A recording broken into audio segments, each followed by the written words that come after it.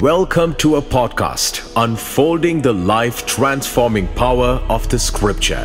VJ Traven Academy presents Celebrate Christ with Viju Jeremiah Traven. Stay tuned for Bible recitals, songs, reflections, discussions, intercession, adoration, and more. Be blessed. Welcome to VJ Traven Podcast Episode 8. We're going to discuss how Yeshua is the Savior of the fallen humanity. I feel like singing. Every knee shall bow, every tongue confess that Jesus Christ is the Lord. Every knee shall bow, every tongue confess that Jesus Christ is the Lord. He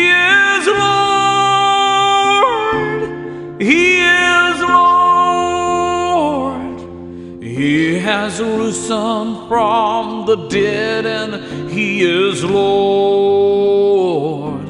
Every knee shall bow, every tongue confess that Jesus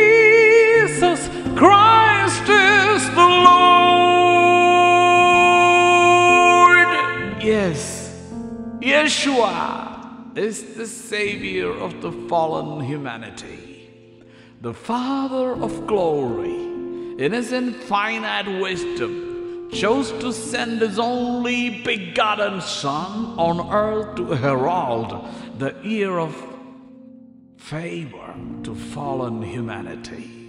The year of favor to fallen humanity happened when Yeshua manifested on earth in through his virgin birth. So, this is what we need to know. Without holding his equality with God, the Son of God humbly submitted to his Father's plan for our salvation. Philippians 2 6, John 3 16. As a consequence, 2,000 years ago, Gabriel the archangel appeared to the highly favored virgin called Mary. This young Jewish woman from Nazareth, a Galilee settlement in Israel, was betrothed to Joseph, an Abrahamic descendant. Gabriel brought the good news of great joy regarding the redemption of the world defiled by the deception of sin. He greeted and told Mary that tr- the triune God was with her concerning the incarnation of the Messiah. The Abba chose Mary to give birth to his son in the flesh without human intervention. Gabriel also revealed that the son would be called Yeshua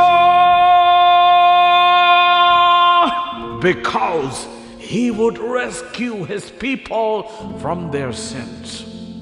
Mary accepted the spoken word sent from heaven as the seed of God to conceive the Savior of the world as the, as the offspring of the Virgin's womb.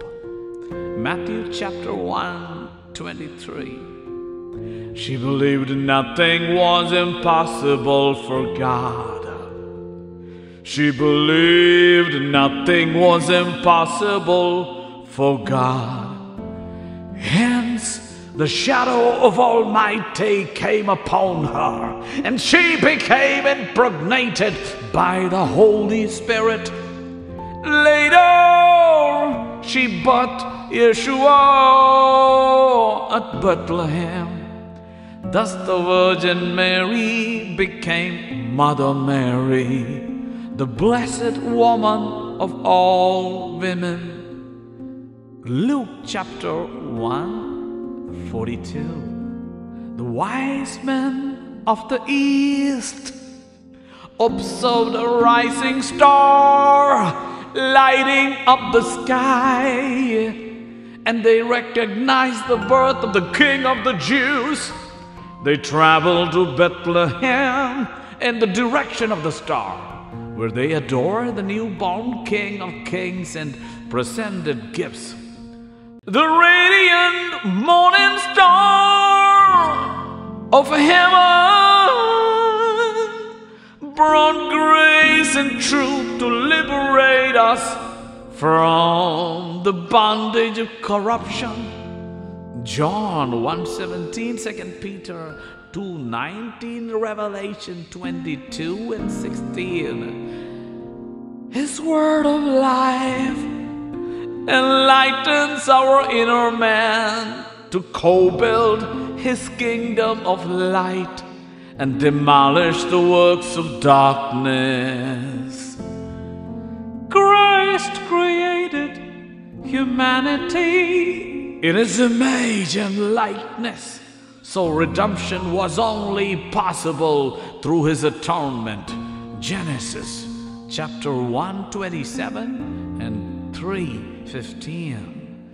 The Lamb of God was slain even before the foundation of the world to accomplish that purpose.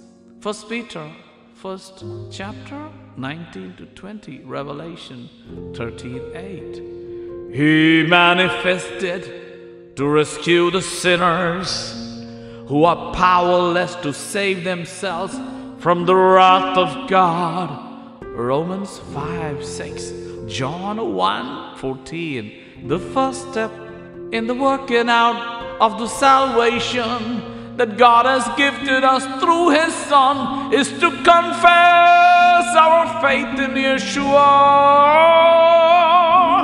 and accept Him as the Lord, as our Lord and King. Holy Bible tells us there is no one righteous, not even one. No other name under heaven has been given to man by God through which we might be saved from the penalty of our sins. Acts chapter 4 12. Therefore, every knee shall bow and every tongue confess, every tongue will confess that Jesus Christ is the only Lord and Savior. Romans 3:10, Philippians 2:10. So every knee shall bow, every tongue confess that Jesus Christ is the Lord.